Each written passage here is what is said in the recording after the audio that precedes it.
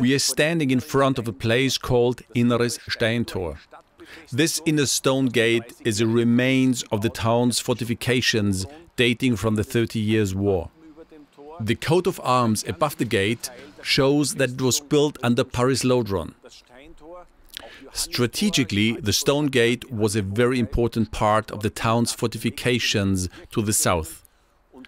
The stone gate is also called Johannistor, because in Salzburg it was a habit to name the town gates after the nearest church. Just behind us is the church of St. John on Imberg, which is a very interesting church. If you are fit enough to climb the stairs, which are halfway between here and Platzl, you should definitely consider visiting this church. We are standing on a firm surface, which was not always the case. Not so long ago, approximately 150 years back, there was a drawbridge. The river Salzach flowed 9 meters below, which meant that when the drawbridge was up, nobody could possibly access the town from the other bank.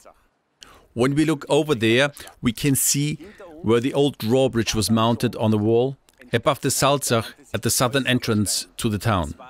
The area behind us was called Äußerer Stein, which was something like the first suburb towards the south. We are now on the inner side of the Steintor, where the outer fortification to the south were installed. The guard responsible for the inner stone gate was stationed right at Steingasse 23. The entrance in front of us was the entrance to the living quarters of the guards. The guards lived and worked here.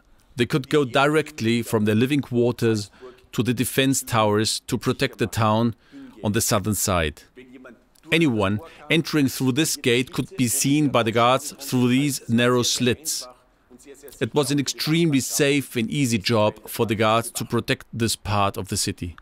Archbishop Count Paris Lodron ruled Salzburg during the turmoil of the Thirty Years' War, which took place from 1618 to 1648. He protected Salzburg to such an extent that one could compare it with today's Switzerland. It was considered a safe haven within Europe.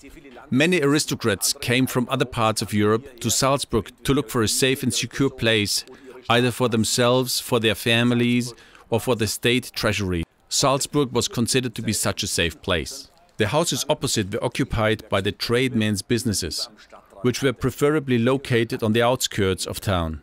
In the 15th century, where there was a dreadful smell in this area because of these types of crafts, were not particularly popular within a community. Therefore, leather craftsmen, tanners, and dyers always had to set up their business on the outskirts of a town.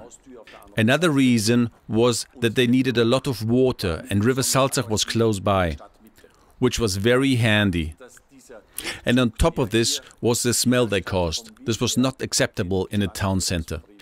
It is said that in this area a wind always blew the stench away. The houses on the side facing the mountain, where the apprentices and the journeymen lived and worked, were very damp. The masters lived in charming places under arcades on the other side, which is currently the Imbergstrasse. At the back of these houses, we can see huge attics, which were used in the past to dry the leather skins and the dyed fabrics. Sometimes the fabrics had to go through several dyeing processes so as to reach a certain quality standard. The most difficult color to produce was black. At first, one had to dye the white cloth blue and then black. If the cloth had been dyed just once in black, it would have turned out grey. To dye cloth black was an expensive and lengthy process. Of course, high society people had to show that they could afford expensive products, so they wore mainly black clothes. As already mentioned, the two-step process to obtain black cloth by first dyeing in blue and then black was quite time-consuming. To apply the blue color took two days, which was great for journeymen and apprentices because they got a day off. In front of house number 9 we can see an inscription in memory of Joseph Mohr. His name probably means nothing to you, which I can totally understand, although I'm pretty sure you know the song he wrote. But before I reveal more about this, I shall set things right. The inscription should actually be on house number 31, which is a little further south from here. But the destiny of this family is very typical of their time. Anna, who was the mother of Joseph Mohr, originally came from Hallein, which is a little town approximately 15 kilometers south of Salzburg. She was only 15 when her father died. A family's right to live in a house very often depended on the professional life of the father, who worked in this case for Hallein's salt mine. After he passed away, mother and daughter had to leave their home. They moved to Steingasse 31 in Salzburg, where Joseph's mother tried to make a living through knitting. Joseph Mohr's father was a soldier who disappeared after the birth of his son. Joseph grew up with his mother in extremely poor circumstances. As a young man, he was consecrated priest and moved to Oberndorf, which is approximately 20 kilometers north of Salzburg. A few days before Christmas in 1818, Joseph Mohr was faced with a broken organ in his church. He needed to find a quick solution if he wanted to celebrate a festive Christmas Eve with his community.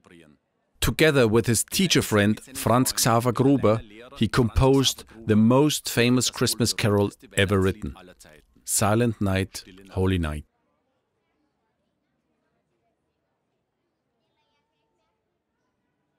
I'm sure you have seen this kind of cornerstones on houses before, but maybe not that many within such a small area as here in Steingasse.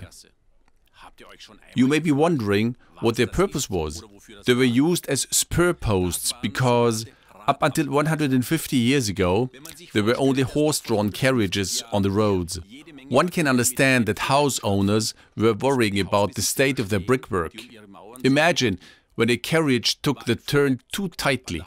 The big wooden wheels with iron fittings could greatly damage the walls. Therefore, these cornerstones not only served to protect the houses, but the coachmen also paid more attention when they drove through narrow streets so as not to damage the carriages.